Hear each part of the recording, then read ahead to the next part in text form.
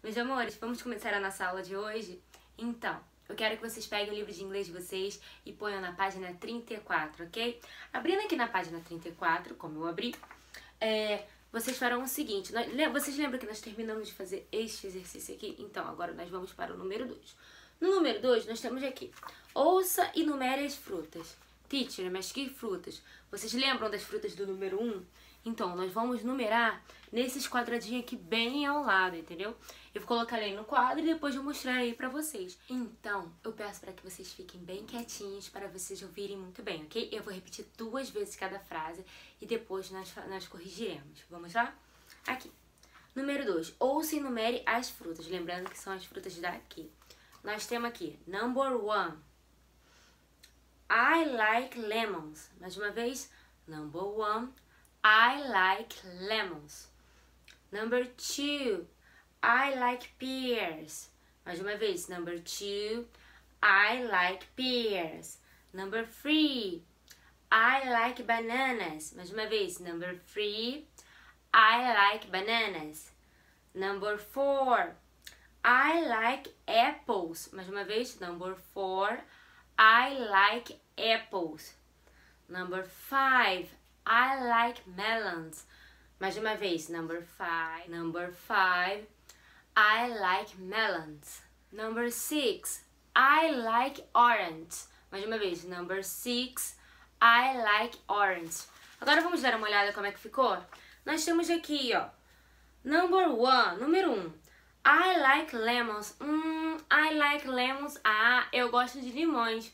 Hum, e onde é que está o limão aqui? Hum, bem aqui, não é? Então, bem aqui na quarta imagem, onde estiver o limão, você vai colocar o número 1, igual eu vou colocar aqui, ok? Você vai colocar o número 1, number 1, ok? Deste modo aqui. Vamos para o 2, number 2. Number 2, I like pears.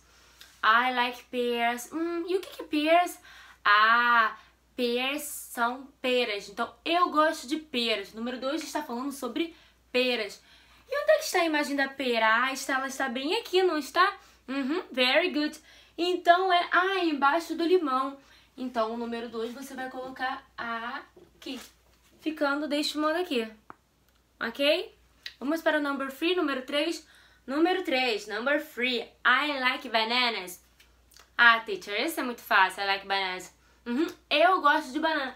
Onde está a banana aqui? Ah, está bem aqui, né? Então, na imagem que você vê a banana, você vai pegar e vai colocar o número 3, o number 3, que é bem aqui, ó. Ok? Number 4, agora o número 4. I like apples. I like apples. Eu gosto de maçãs. Onde está a maçã aqui? Maçã é a primeira aqui, não é? Então, na imagem que você vê a maçã, você vai colocar um número 4, bem deste modo aqui, ó. Uhum. Very good. Vamos para, Vamos para a próxima. Hum. Próximo nós temos aqui I like melons. I like melons. Hum, melons, hum, melões. Eu gosto de melões. Hum, e onde está o melão aqui, hein? Hum, bem aqui, a última, não é? O number 5. Então, o número 5 você vai colocar bem na imagem que você vê o melão ao lado aqui nesse quadradinho. Deste modo aqui, ó, number 5. Ok, falta só um. Vamos ver a última frase, a última frase, number 6. Número 6, nós temos aqui I like orange. I like orange. Ah, teacher, essa também é muito fácil. Ela é muito fácil. I like orange. Eu gosto de laranja. Onde nós conseguimos ver a, a imagem da laranja? bem aqui, né, segundinho. Então, nessa aqui ao lado, nesse quadradinho aqui, você vai colocar o number 6. Ficando 4, 6, 3, 1, 2, 5. Deste modo aqui. Ok, meus amores? Vamos então para o próximo exercício? No próximo exercício que nós temos aqui, nós temos aqui o número 3. Leia as frases e diga suas preferências. Aqui, aí nós temos, aqui nós temos as frases que eu coloquei no quadro já. I like alguma coisa. Vocês vão ter que preencher com frutas. Eu preencherei com as frutas da nossa unidade, que são todas as frutas. Eu preencherei com todas as frutas da nossa unidade que nós aprendemos aqui. Mas vocês, na, casinha, na casinha de vocês, vocês podem preencher com as frutas que vocês gostarem, desde que seja em inglês. Procure e coloque elas aqui em inglês, ok? Vamos lá então? Qual foi a fruta que nós aprendemos aqui na unidade? I like, hum, I like orange. Então, primeiro, eu vou completar com I like orange. Eu gosto de laranjas. I like orange. Ok? Vamos repetir então a frase? I like orange. Mais uma vez. I like orange. Outra vez. I like orange. Very good. Vamos para o dois. Esse aqui, a segunda frase, nós temos I like... Hum, qual foi outra fruta que nós aprendemos também? Hum, nós aprendemos melões, não, são, não é? Então, I like melons. I like melons. Vamos repetir? I like melons. Outra vez. I like melons. Very good. Terceira. I like... Qual foi a outra fruta que nós aprendemos? A banana. Banana é bananas. Então, I like bananas. I like bananas. Vamos repetir então? I like bananas. Very good. Depois aqui, qual foi a outra fruta? Hum, I like pears. Pera, não é? Uhum. I like pears. Então vamos completar com pera. I like pears. Mas, mas vamos repetir? I like pears. I like pears. Very good. Depois, qual foi a outra fruta que nós aprendemos? Limão. I like. Como é que é limão mesmo? Ah, lemons. Então, I like lemons. Vamos repetir? I like lemons. Outra vez? I like lemons. Very good. E por último, qual é a fruta que está faltando aqui? Ah, teacher. Todo mundo já sabe qual é a fruta que está faltando aqui. Maçã. Maçã em inglês é como mesmo? Ah, I like apples. Vamos repetir então juntos? I like apples. Outra vez. I like apples. Very good. I like apples.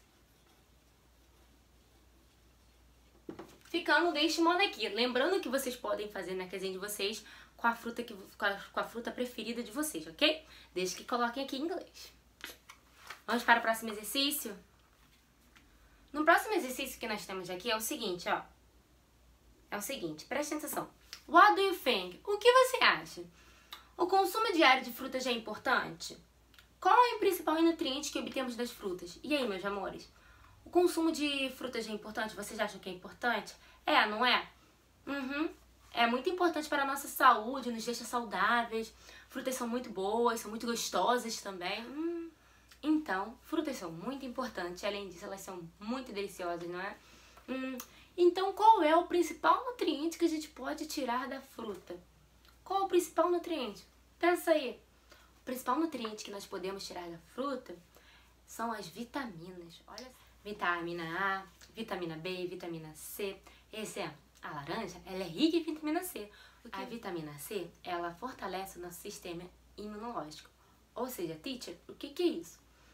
Ela impede que a gente fique resfriado, que a gente se sinta mal. Então as, então, as frutas, elas são muito importantes por conta disso, ok? Vamos para o próximo exercício, então. Nós temos aqui, ó, sessão Behavior. Você sabia que a torta de maçã é uma sobremesa muito apreciada por americanos de ingleses? E aí, meus amores, vocês sabiam que a torta, que a torta de maçã é muito apreciada pelos americanos de ingleses? Um, ela é consumida quente ou fria, sozinha ou acompanhada de sorvete de creme. Imagina só uma torta de maçã acompanhada com sorvete de creme. Deve ser uma delícia, né? Hum, assinale o principal ingrediente da torta citada. E aí? Nós falamos sobre a torta de quê? Foi a torta de melon? Foi a torta de melão? Foi a torta de apple, a torta de maçã? Ou foi a torta de lemon, torta de limão?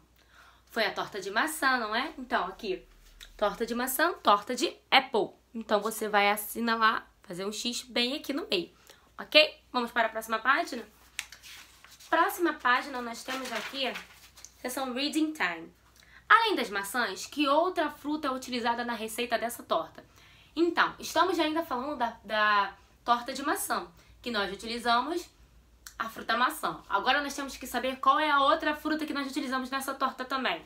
Vamos dar uma olhada? Aqui nós temos os ingredientes. Vamos ler juntos? Hum, apple pie, torta de maçã. Vamos repetir apple, como é que é torta de maçã em inglês? Apple pie. Mais uma vez, apple pie. Outra vez, apple pie. Very good. Vamos lá? Six medium apples. Hum, six medium apples. Ah, então na torta de maçã nós usamos seis maçãs médias. Olha quanta maçã. Próximo nós temos aqui one cup brown sugar. Vamos repetir? One cup brown sugar. Devagarzinho. One cup brown sugar. Um copo de açúcar mascavo. Ah, nós não usamos aquele açúcar branquinho, nós usamos o açúcar mascavo, que é aquele marronzinho, ok? Ok, very good. Vamos ver os outros ingredientes? Aqui nós temos two tablespoons of flour. Mais uma vez, two tablespoons of flour. Hum, o que, que é isso? Duas colheres de sopa de farinha, duas colheres de sopa de farinha. Hum, então, nesse ingrediente aqui, nós também usamos farinha. Ok, vamos ver os outros ingredientes? No próximo, nós temos aqui one, one teaspoon of cinnamon. One teaspoon of cinnamon. Uma colher de chá de canela. Hum, então nós também utilizamos canela, não é? Vamos ver o nosso último ingrediente. Nosso último ingrediente, nós temos aqui 1 tablespoon of lemon juice. 1 tablespoon of lemon juice. Uma colher de sopa de suco de limão. Uma colher de sopa de suco de limão. Hum, vamos ver agora to todos os ingredientes que nós, nós utilizamos aqui. Primeiro que eu falei é... O que, que nós temos que encontrar mesmo? Nós temos que encontrar outra fruta utilizada, né? Vamos dar uma olhada em todos os ingredientes então agora? Nós temos apple, maçã, não, não é essa fruta, porque nós sabemos, nós queremos saber de outra fruta.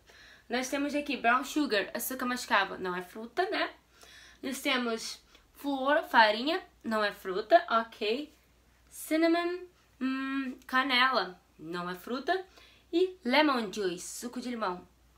O, é suco de limão, não é mais. O suco vem da fruta limão. Então, qual é a outra fruta que nós utilizamos?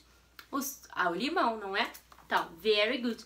Então, você vai colocar aqui que a outra fruta utilizada na receita é o limão. Ok, meus amores?